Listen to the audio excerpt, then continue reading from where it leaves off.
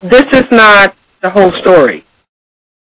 The prophecies of the temple, of the Sibyls, uh, were everywhere in many, many temples all throughout the known world. In Rome, because uh, one of the Sibyls um, had prophesied the fall of Rome.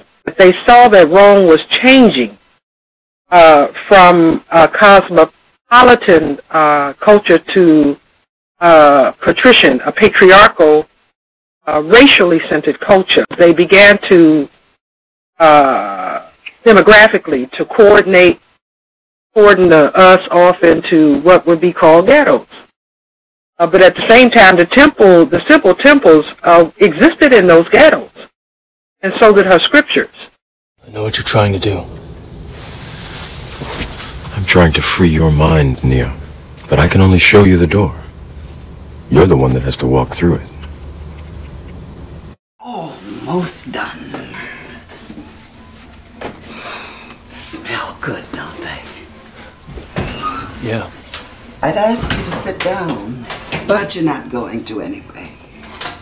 And don't worry about the vase. What vase? That vase. I can see why she likes you. Who? Not too bright, though.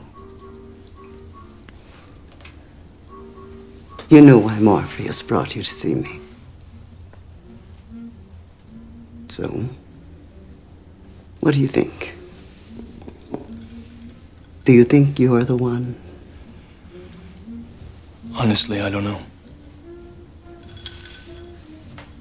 You know what that means? It's Latin. Means know thyself. It's Latin. Means know thyself. I'm gonna let you in on a little secret. Well, the simple temples uh, existed in those ghettos, and so did her scriptures. It is. Know thyself above the temple door before I entered. Had to ground myself and get centered before I entered.